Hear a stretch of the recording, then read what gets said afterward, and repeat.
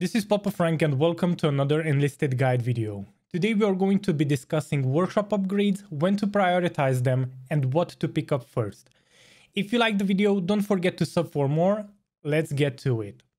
So there are three workshop upgrade types, infantry, tank, and airplane workshop upgrades. I'll be going through all three of them, so if you are looking for a specific type, you can jump right to it.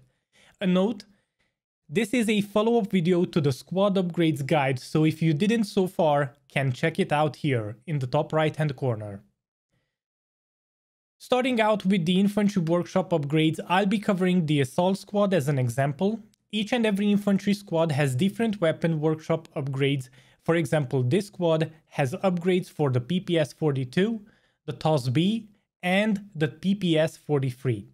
The way this influences each and every gun is that if you start unlocking weapon ranks and bonuses, it will be easier for you to upgrade your weapons. That's one of the reasons why you should hold on to your spare weapons before disassembling them so that you can get more out of the bonuses you pick up within the workshop upgrades. Each squad will have different weapon bonuses and you'll be able to rank them accordingly. But one thing to note here is that the later you unlock guns in the campaign, the harder it becomes to unlock the upgrades for them. The same way you can see here, where the PPS 43 is 6 levels deep in the upgrades tree. Next tip is to always take the disassemble and modification bonuses first before trying to disassemble and upgrade your weapons. It will save you a ton of weapon orders and additional grinding.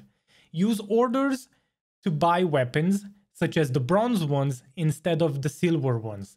Which reminds me, if you're interested in how to better spend your bronze and silver orders, you can check it out here in the top right hand corner. And lastly, infantry squads do better the more perks they have, and the grind for weapon parts is time consuming enough that you should prioritize personnel upgrades to workshop ones, so keep that in mind. Now tanks and planes are a whole different story. And I'll start out with tanks. Workshop upgrades for tank squads are like weapons for infantry squads, but the caveat here is that tanks perform better the higher their rank is.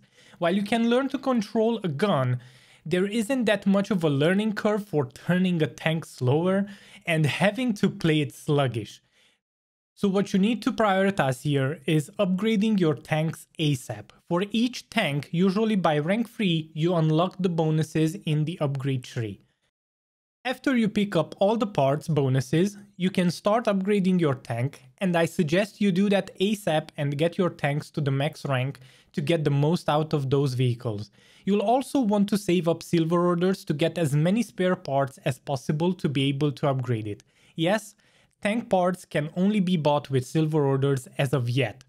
All this comes down to the fact that when compared to infantry squads, you should prioritize workshop upgrades to personnel ones because you want to improve your tank's maneuverability and firepower on the battlefield. The same as for tanks, planes are similar, even more so that for early bombers with fewer crew members you can prioritize workshop upgrades in comparison to squad size increase and personnel upgrades. The same logic applies here as well, with modification bonuses being the priority and getting your plane to the max level ASAP. The pilots get minor buffs and some of the perks require you to get to rank 5. That said, with your soldiers. This applies to tank crew members too, so the grind should be focused on vehicle improvements. As predicted, save up silver orders to get more spare parts to be able to upgrade your planes. Plane and tank parts are only available for silver weapon orders, so I suggest saving them up and spend the bronze ones to upgrade infantry weapons. With all that said, this has been a quick and thorough workshop upgrades guide trying to show you what to prioritize and how to save up your resources to fasten your progression. I'll be covering weapon upgrades and which weapons are worth spending parts on to get to max rank in an upcoming video, so stay tuned for more. If you liked the video, don't forget to sub, like and leave a positive comment for the YouTube algorithm to help me grow. See you next time.